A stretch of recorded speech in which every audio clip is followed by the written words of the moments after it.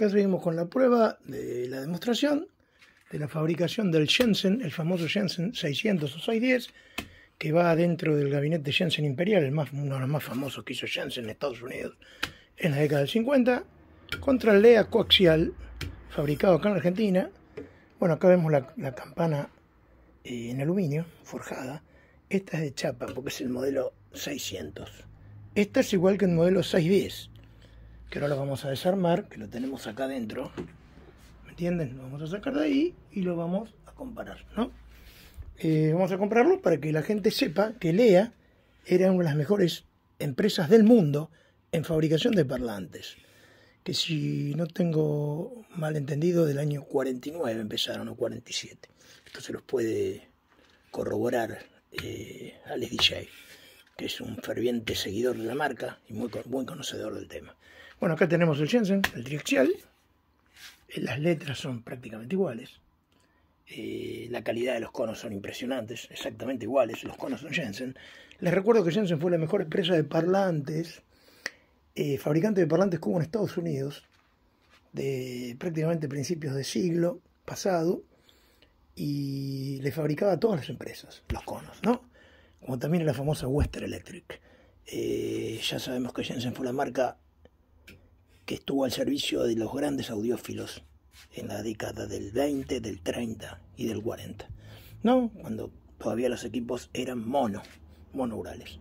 Eh, ya vamos a comparar el otro parlante que lo vamos a sacar de allá para que vean que es exactamente igual el tema de la campana, ¿no? Aluminio forjado.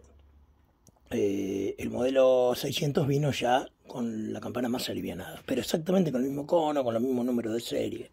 Bueno, acá como siempre demostrando es la verdad, ¿no? Porque a veces la gente dice, eh, lea, lea, lea, no, lea tiene mucha historia, mucha historia muchachos. Eh, por eso hay tantos seguidores y Lea fue, eh, fue una de las mejores marcas del mundo. Como también lo fue Holimar para los que desprestigian a los productos nacionales, ¿no? Hay una historia muy famosa que RCA le robó los planos a Holimar del primer amplificador transistorizado que hicieron acá en Argentina. Los ingenieros Margulis luego con su sucesor Blatt, verdaderos genios de la industria, de los ingenieros, mejores ingenieros de la industria electrónica argentina. Bueno, ya seguiremos con esa historia, cuando le mostraremos toda la historia de Hollimer. Mi intención es mostrarle los productos nacionales que se fabricaban en esta época. Recordamos que esto se empezó a fabricar a finales de la Segunda Guerra Mundial, cuando acá en el país había mucho dinero. Y bueno, y había una mano de obra fantástica. Eh, por todos los, extranjeros que habían entrado al país, ¿no? Sobre todo gente de Europa, alemanes y todo tipo de, inmigrantes que crearon industrias fabulosas, ¿no? Eh, bueno, seguiremos las pruebas con los Altec, con los LEA, con los Jensen, con Tanoi, con JBL. Vamos a probar todo, todo, de todo.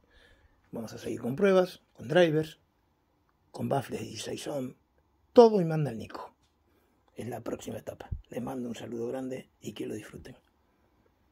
Acá tenemos Lea Jensen, prácticamente iguales. tremenda calidad de sonido, ¿eh? tremenda calidad de sonido. Escuchen la naturalidad. Esto va en gabinete grande, ¿no? Antes probamos el gabinete tan hoy, tipo tan hoy, que era este. Me resulta que tiene que tener mucho litraje la casa para que rinda, ¿no? Miren la naturalidad parece que estuvieran acá. Bueno, disfrútenlo chicos. Ustedes también pueden armarse un gabinete así, ¿eh? Poniendo simplemente dos LEA Cox 222, también van a lograr un gran sonido. A un 223. Parlantes de los 60. Este es un parlante muy difícil de conseguir, pero bueno.